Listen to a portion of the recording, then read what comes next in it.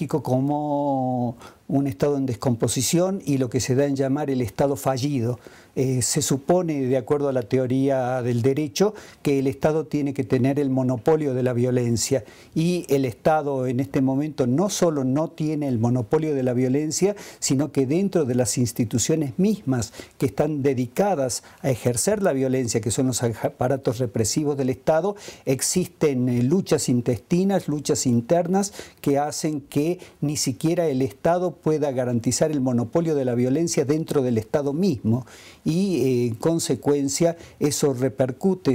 creando posibilidades de acción para grupos eh, eh, que operan al margen o incluso en contra del Estado.